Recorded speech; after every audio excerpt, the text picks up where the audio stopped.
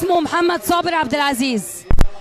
كاتب في سنترال بجام كاتب في سنترال بجام كان جاي هنا في سنترال الأوبرا الساعة 7 الصبح في دورة تدريبية. أول ما جه بيركن عربيته قدام السنترال قالوا له أنت جاي ليه؟ أنت من المصرية؟ وراحوا زقينه في البوكس. هو رايح النيابة مش عارف تهمته إيه.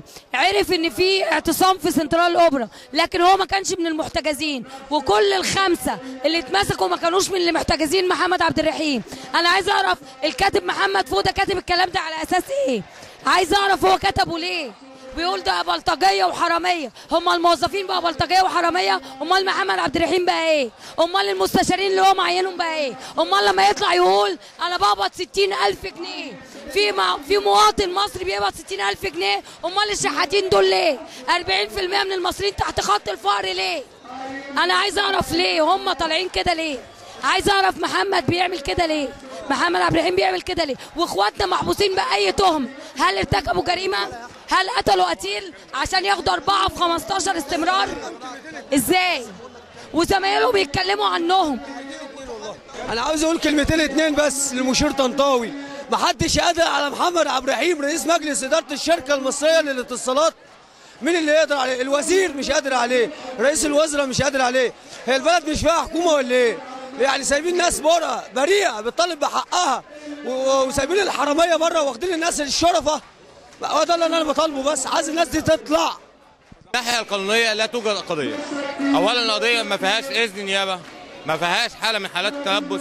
ما فيهاش أي مبرر من مبررات استمرار حبس المتهمين. المتهمين من قبيل الموظفين العموميين. شهود الإثبات اللي طلبتهم الشركة المصرية لإثبات الواقع نفوا الواقع تماما. المهندس مدير سنترال الأوبرا وجه بناء على طلب محمد عبد الرحيم. تمام؟ قرر إن المتهمين لم يكونوا متواجدين في الدور السابق اللي تم فيه احتجاز محمد عبد الرحيم. كما قرر إن هم إن رؤساء القطاعات وهو كان بايت مع محمد عبد الرحيم في السنترال وكان بيخش ويخرج من نفس الغرفة. الموظفين معلومين لمحل الإقامة. من ضمنهم على سبيل المثال موظفين من موظفين سنترال الأوبرا جايين أشغالهم الصبح. وكما شاهد ش... يعني كما شاهد شهود وأكدوا شهود الواقع واكدوا على إن الموظفين المتهمين تم اختطافهم من أمام سنترال الأوبرا الساعة 7 الصبح. أحمد صابر غنيمة عضو هيئة الدفاع عن المتهمين وأخو المتهم الخامس محمد صابر. سيادت- سيادتك إحنا عايزين نوصل رسالة للنائب العام.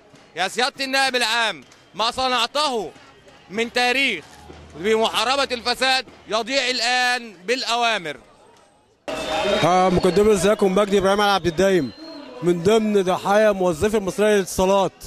بقول لسعادتك هي كلمة ورد غطاها. سيادة النائب والمهندس عقيل بشير دول فاسدين من ضمن النظام السابق. وعلى سبيل المثال أنا موظف مصرية للاتصالات عشان ماشي بضمير وماشي بتأني اجبرونا على الخروج المعاش مبكر والآن أصبحنا بنشحت في الشوارع وتحت فلول تفتيش الديوان العام. وأنا بعلو حسي.